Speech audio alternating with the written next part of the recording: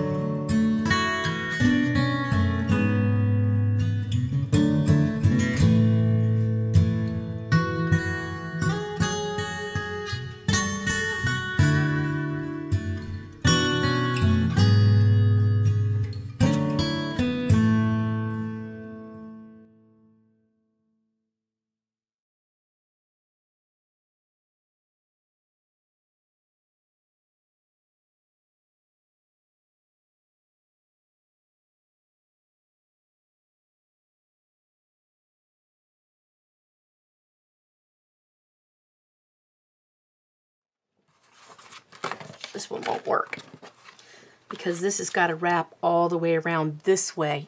I need a longer piece of cardstock. So we have this. I'm going to lay this right here. I don't want it quite over the thing. And I'm going to take a pencil.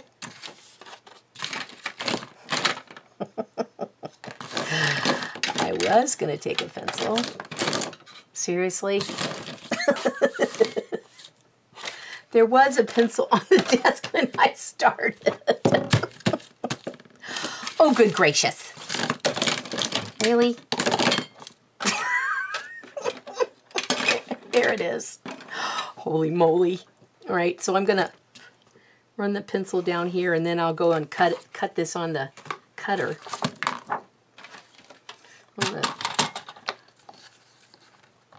paper cutter and run my, my uh, going to call this a piano wire. I don't know if that's what it is.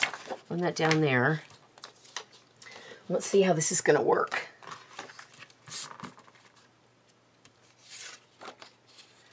Put, the, put this on the front and it'll slide on.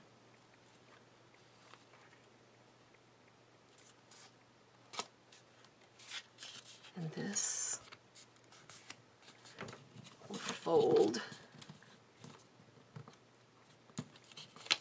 to the back side. And this will go down like this.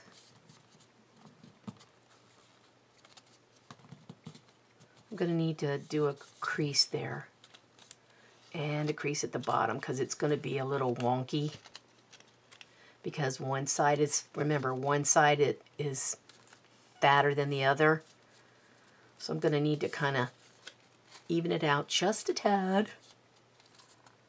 And then I think what I will do is I will paint the green and the blue like I did before with the watercolor. Then I will be able to put the house here and put trees on either side of the house. And that way I can slip it off.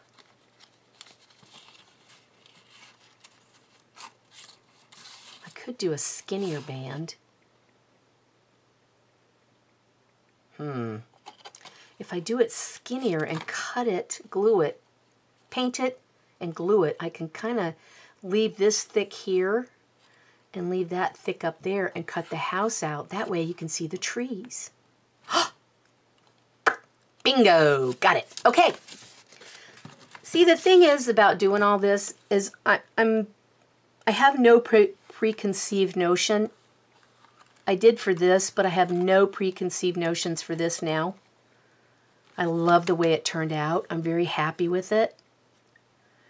Um, and so, you know, this mistake here is okay. Not a big deal. I can take care of that on the insides and it won't be any big deal to have it done that way. So I think what I'm going to do is I'm going to go ahead and paint this, this section. I may need to, well, I should paint it first, then I'll crease it. Then I will cut around, I'll glue the house on where I want the house to be. And I will um, kind of fussy, I'll leave a little bit of lawn down here at the bottom, a little bit of sky at the top because I can kind of tell where it bent. And then I will fussy cut around the house, not that far. I will do the sides of the house. and then you can see the trees that are these two right here. That's the theory. We shall see if this works. I'll be back. Okay, so I painted the blue and the green all the way down because I figured that it would look nice on the back in case I get silly and put a house on the back of the belly band, which I don't think I will, but just in case, better safe than sorry. And I'm going to take one of these stylist,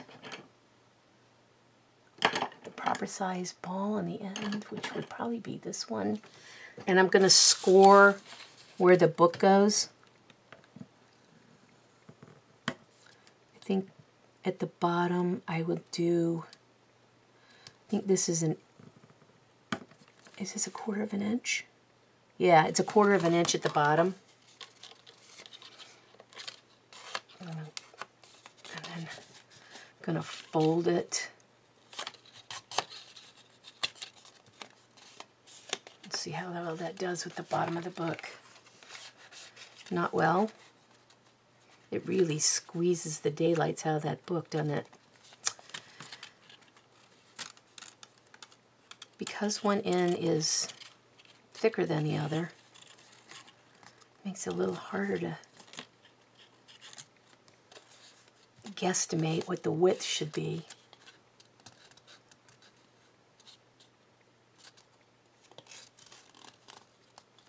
I think I should make the top maybe See how it goes slanted at the bottom this way? sorry about the light. If I do it too much, you're going to be blinded. Not enough. You can't see diddly. Is that better? There you go. Um, I think maybe I'm going to need a half an inch, not a quarter. So I'm going to redo the bottom here to make it a half inch. Four and one, wrong side. Four and one half. On the top, I'm going to do the same way. I'm going to do it a half inch because I think it needs the space for the accordion.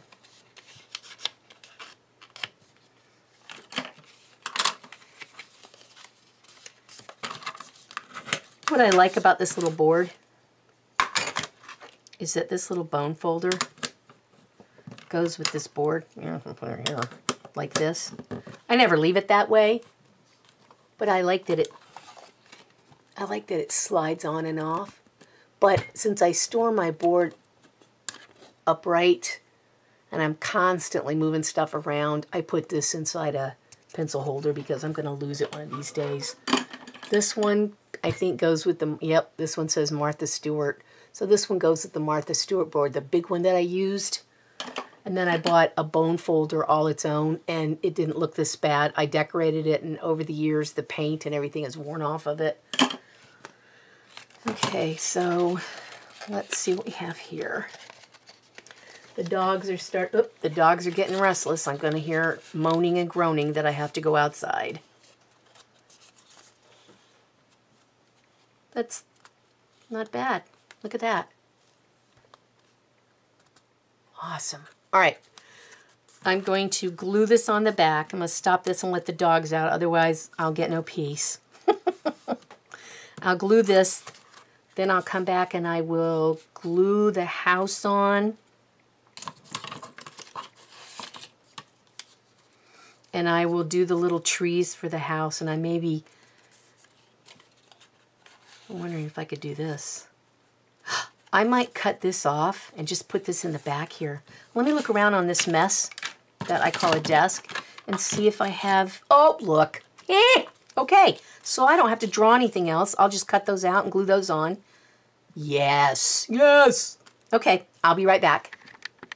Okay, um, what I'm doing now is I cut out the ones where I painted it green and blue. The water the water, the sky and the ground, and decided that I don't really want to cut out more houses. I have these. They're scraps. They will work perfectly for what I want them to do, which is to be background to something else that is not a feature. And yes, the house is blue like the sky, and the house is also green like the grass, but frankly, I don't care because what I'm more focused on is what this looks like. That is just backdrop. That stuff is just backdrop. So I'm going to glue these on with wet glue. I didn't even want to use the Fabri-Tac because it smells bad. All right, I'm going to glue this one here. Kind of put them even. And it doesn't matter that part of this house is missing because he's on the edge anyway. And it doesn't matter that part of this house, it doesn't matter that they're not perfect houses because they're going to be covered up anyway. So they'll be like cityscape, you know, they'll be background noise. Then I'm going to take this one and glue this one here. And there we got that silly chimney again. You know what? Let me rip him off. Executive decision. There we go.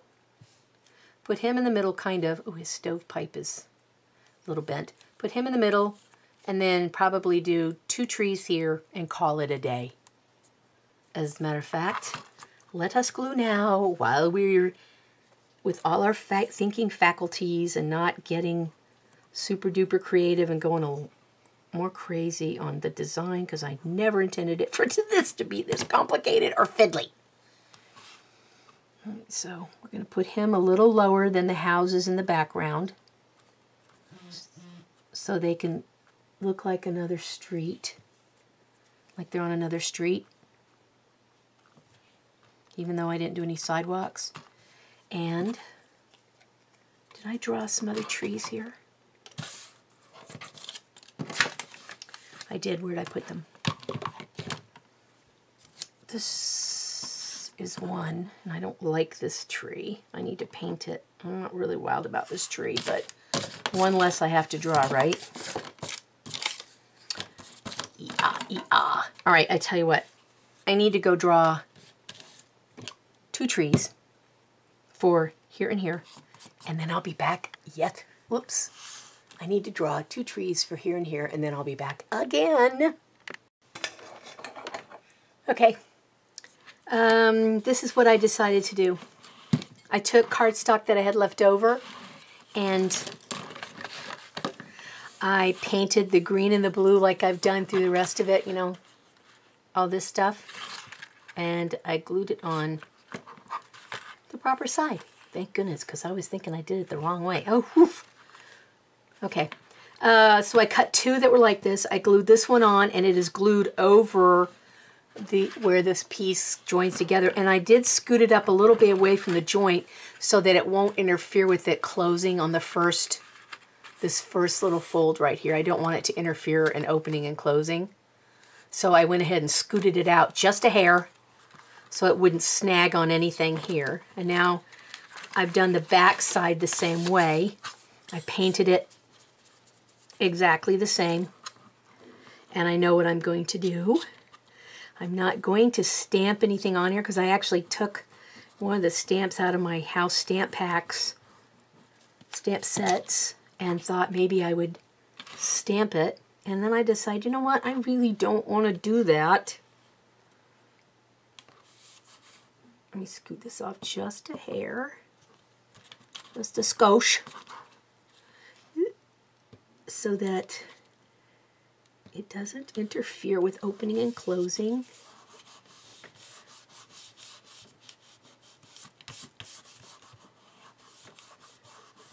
And we've covered up where our marks work and we continue with the grass and the sky. And then I'm going to put more houses and trees. So that means I got to draw some more. As much as I don't really want to do it, I will. And so I'm going to take and put trees and houses glued flat on this flap and on this flap so it gives this continuity with opening and opening and closing. So I'll be back after I finish that and I will show you this finished product. Kind of going to look like you have two scenes together. Cool, huh? Eh. Alrighty, so that's this part done and I'm not going to do anything to the back. Yes, I should have glued the stuff onto the front, but it doesn't matter at this point. I put so much time into this, I really don't care anymore. All right, so I made some more houses and trees for this side. Made houses and trees for this side. So where's the front? This side's the front so that when you open it, you see this little house on the front with the trees, and when you open it, you see more houses and trees, and everything has continuity. Although these on the ends look a little bit bigger than what I drew before, the houses seem a little bit bigger. But nevertheless, it's still houses and trees, houses and trees. And then we fold it up. And remember, I've got, oops, sorry, the house on the back. And the belly band, or I don't know if this is really considered a belly band, but slider for the front. And it's done after me going on and off and on and off and on and off the camera all day. oh, let's see. I started this at about 6.30 this morning. It's 5 till noon. So this is a time-committed project. Uh, takes a while because of all the fiddly cutting and trying to come up with the plan on the fly. But in the end, I'm very pleased with the results. And if you don't want a band or a slider to go on it, you can just tie a ribbon on it. Don't glue anything on here because if you do, you won't be able to open the book. I learned that the hard way once already. Okay, so we will close up our city. And there you go. Then make a lovely book, like I said, to give to somebody as a gift. Somebody you really like, because this is a lot of hours. hey everyone, I wanted to do one last segment for the Cityscape flag book because this is it. I'm done with this book.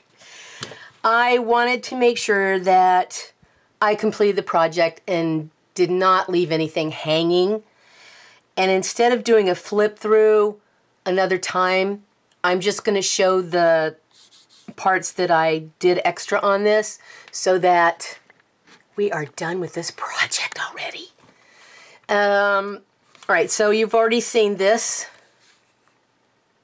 And now there's this. I went ahead and added, and I probably should have made it up a little higher, but I was trying to cover up the seam that was here on the back of the slider part. I went ahead and stamped another house like this one and then just stamped more of that same house in the background with some black StazOn. Colored it with uh, Spectrum Noir alcohol markers, did some Posca pen for the flowers in the window boxes here. These, this was left over. I had an extra tree from when I was gluing them in the body of the book. This was a tree that had a long stem and then, you know, it was up here at the top. And I thought, you know what? I am not drawing one more thing for this. I'm done with this book. So I hacked the tree up, made a small bush here a small bush here. you know, sometimes ideas on the fly actually turn out to go very well. Mostly, they just go done. All right, so I did put something on the back, even though I said I wasn't going to. Evidently, I lied. but I wanted to show you that I did finish the project off and now it's going to languish on a shelf forever until maybe I give it away to someone who is moving or someone who would appreciate it. I don't know. We'll see. I gotta let it I gotta let it mellow for a little while. I just I'm very over the flag book thing. well, not the flag book thing, this particular flag book. I estimated there are about 20 to 25 hours in this book. And the reason it took so long is because I couldn't make up my mind. Everything was on the fly. It was kind of a piecemeal project. Oh, one other thing that I did. Because I didn't like the white here for the accordion, I went ahead and painted it the green and the blue, sort of like I did on this. Um, my advice to you to speed this process up is when you do this, make sure you paint this before you do the um, scoring.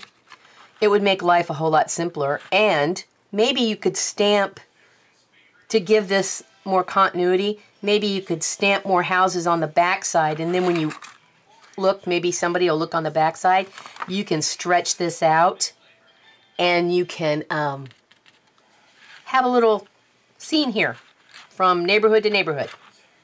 Okay, that's it for me now. I have two more flag books to work on, and then I am done with flag books for a long time. Thanks. Bye.